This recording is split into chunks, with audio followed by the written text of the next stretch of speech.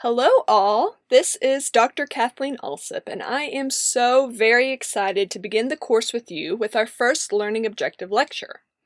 In these sessions, we will explore the concepts in each learning objective, and we will talk through these areas to provide context to what you're reading within the learning objectives. So make sure that you have read through the learning objective text before viewing these, as that will make these ses sessions much more meaningful, and you can really hone in on the areas that perhaps didn't make as much sense in your initial reading. So, if you have read the first learning objective, let's get started. I am so excited. All right. This is the text of the first learning objective, and it's covering four main areas. We will start by discussing what this odd word means here. What is fascia? What does that even mean? Then we will talk about what muscle, or which muscle is located within the superficial fascia of the neck. Next, we will spend the majority of our time discussing the three main layers of deep cervical fascia, so specific to the neck region. As this is a bit more of a complex area, so I want to take this topic nice and slow, so this video may be a little bit longer than the subsequent Learning Objective Lecture videos. And kind of throughout this discussion, we will discuss why we are even talking about these layers and the spaces they form. There is always a reasoning behind our making you memorize certain areas. So let's start the fun. All right, let's begin this discussion with the most superficial layer of the entire body, and that is the skin, as this will give us context for all the deeper layers. The skin is going to be composed of the epidermis, which is the outer and avascular layer, as well as the dermis, which I am outlining here in red. The dermis is the deeper and vascular layer. If you have a cut and it is bleeding, it has at least reached the dermis, or potentially deeper, as a cut of the epidermis would not bleed. Have you ever heard of the joke, your epidermis is showing? That is how I always remember which one is the most superficial. So epidermis is the most superficial, the dermis is deep to the epidermis, but still part of the skin.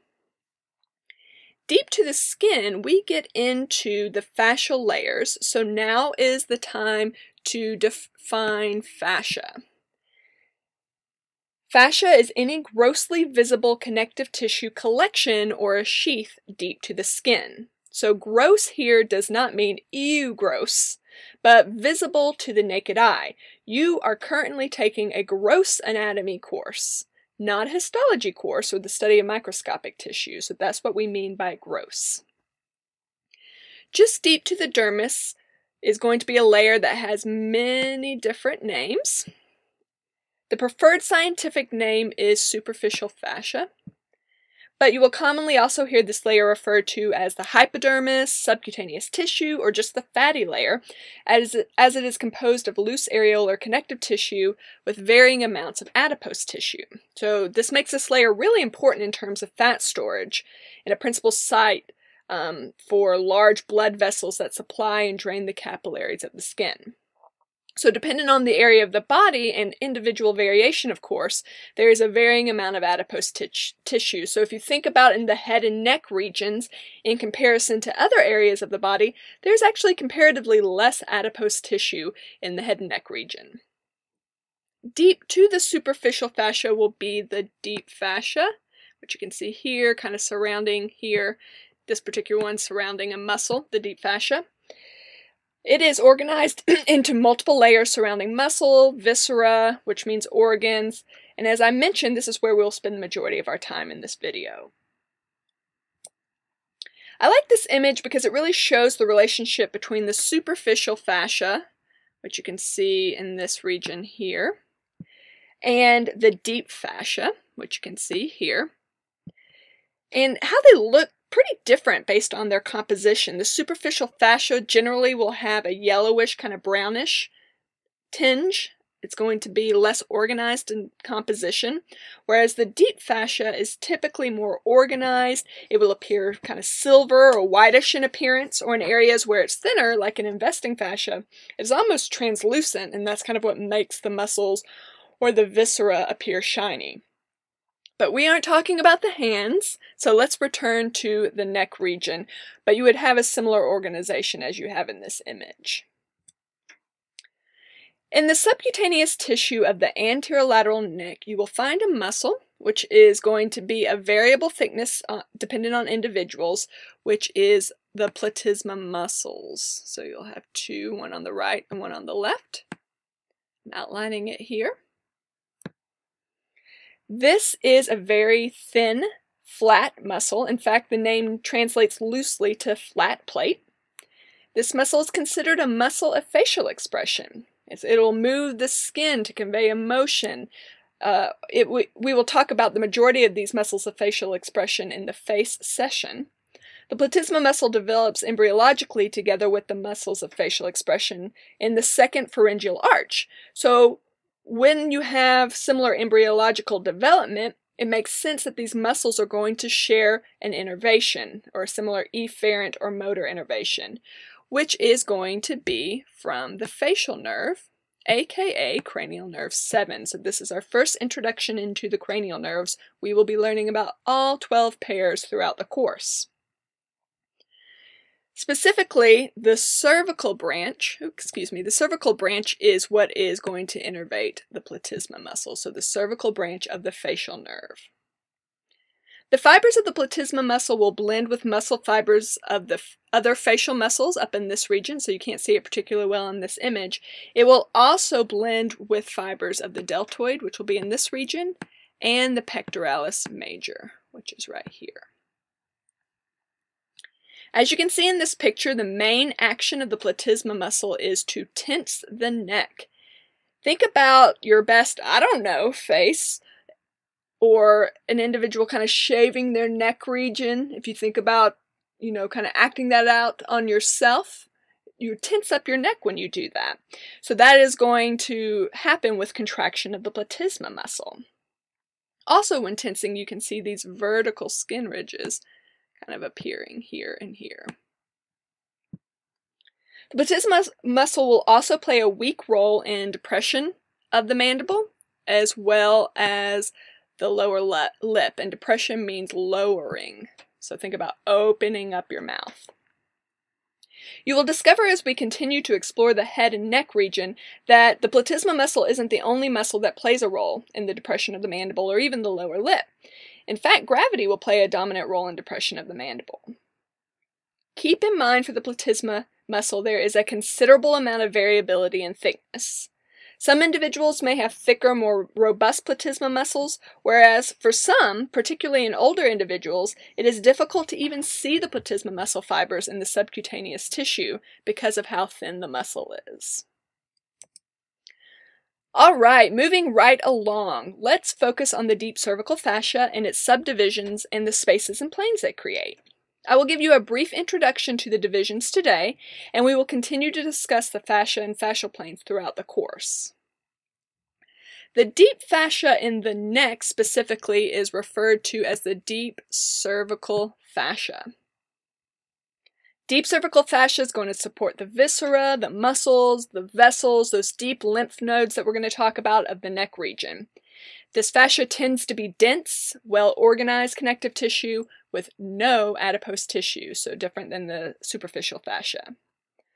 Potential spaces between these layers that we're about to discuss are going to create what we refer to as natural cleavage planes through which tissues may be separated during surgery without injuring other structures, or on the bad side, can actually allow for infection to travel within these spaces.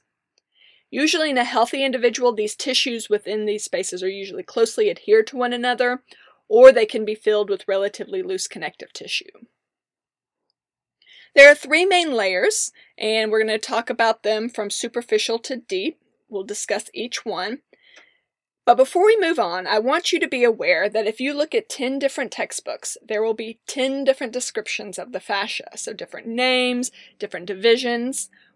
We are going by the terminology and descriptions in the most up-to-date version of Gray's Anatomy, which is usually quite on the ball regarding recent research. So if you ever look in another textbook, you may see different terms than the ones we're going to discuss here.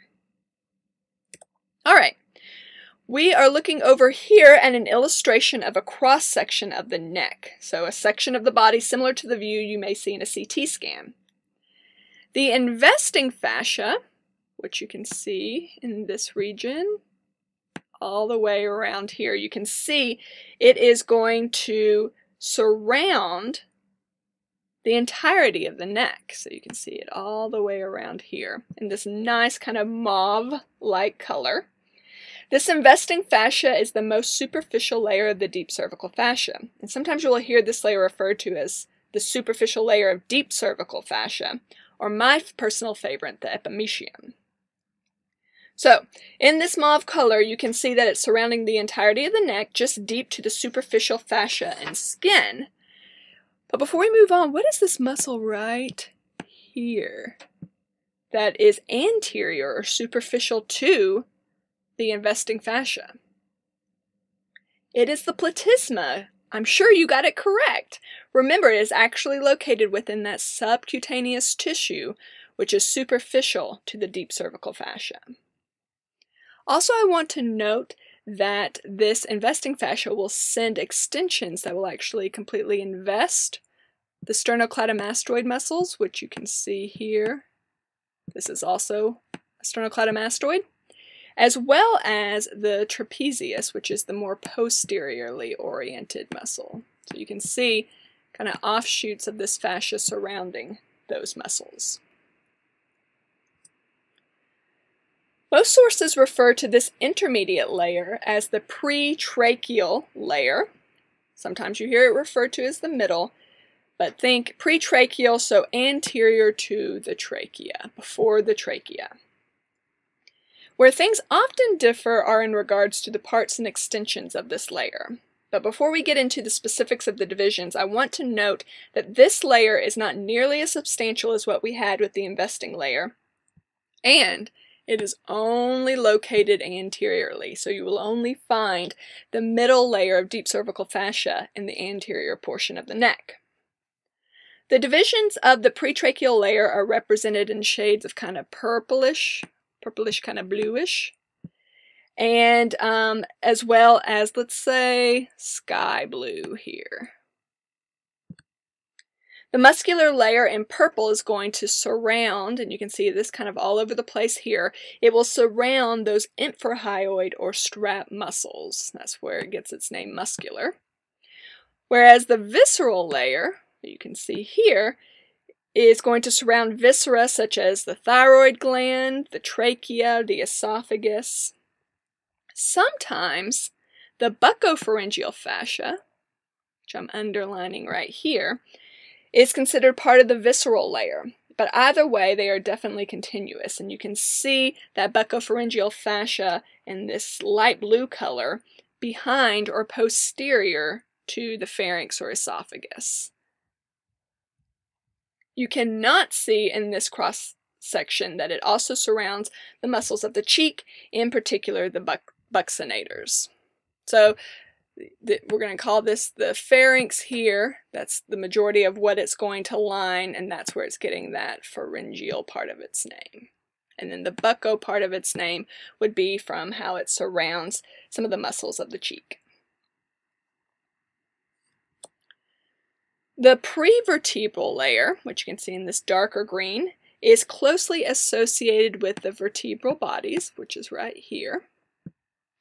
And there will be an additional layer of fascia, the alar fascia, which I'm underlining right here, indicated in light green. This is going to be more anteriorly placed. So prevertebral fascia, and then between the buccopharyngeal fascia and the prevertebral fascia will be the alar fascia. All right, so let's talk a little bit about spaces. The space between that buccopharyngeal fascia and the prevertebral fascia is referred to as the retromandibular, or excuse me, the retropharyngeal space. We're not to the mandible quite yet. So the retropharyngeal space.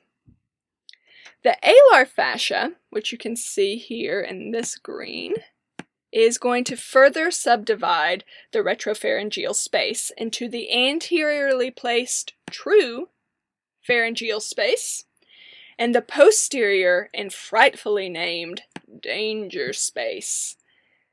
Dr. Fox is going to discuss in more details the spaces between these layers and their implications of having a space there clinically. But as I mentioned before, these spaces, particularly that danger space, uh, can be a route for infections to spread between the pharyngeal region in the neck all the way potentially to the mediastinum, which is a space all the way in the thorax medial to the lungs where the heart hangs out. So that can have some tr tremendous implications. But for this session, I just want you to focus on getting down the location of these fascial layers and the structures that they are associated with. Lastly, let's discuss this extension of deep cervical fascia that is going to be noticeably, noticeably thicker, and this is referred to as the carotid sheath. And you can see it outlined in pink in the illustration. I'm circling one of those right here. We will be talking quite a bit about the carotid sheath and its contents in many upcoming videos. The sheath will surround the following structures. It will surround the common and the internal carotid ar arteries with a little bit of the external carotid artery. We typically don't keep that one in there just because it starts sending out branches. The internal jugular vein, the vagus nerve or cranial nerve 10, and deep cervical lymph nodes. These are actually fairly large and substantial structures in the neck, so they're going to be wrapped up by a fairly thick layer of deep cervical fascia. Sources vary as to what layer of deep fascia that this is an offshoot of, but I don't want you to worry so much about that. Just understand where it is located. All right, so that wraps up our discussion of the skin and fasciae related with the neck, but I like to end each of my sessions with a question that is something like what you may see on your exams to kind of get you thinking in that way and as a means of review for you. If you miss it, no big deal. Just take it as an opportunity that you to learn that you need to review that area. All right? So let's do it. The question is, a patient is diagnosed with a lesion or some type of injury of the facial nerve or cranial nerve 7. Which muscle may be affected? Is it the platysma? Is it the sternocleidomastoid? Or is it the trapezius? Take a minute to think it through, pause the video if need be, but when you are ready to move on, let's hope that you settled on A, the platysma muscle. Yes, it is true that this is the only muscle we discussed in detail in this video, but more importantly, we know that it is innervated by the cervical branch of the facial nerve. It is the facial nerve uh, innervation like all other muscles of facial expression. We will discuss in another video, but both sternocleidomastoid and the trapezius muscle are going to be innervated by another cranial nerve, so not 7, but cranial nerve 11, or the accessory nerve. So that completes this session. Please do always feel free to reach out to me with any questions after review, and thank you for your time and attention. Have a great day.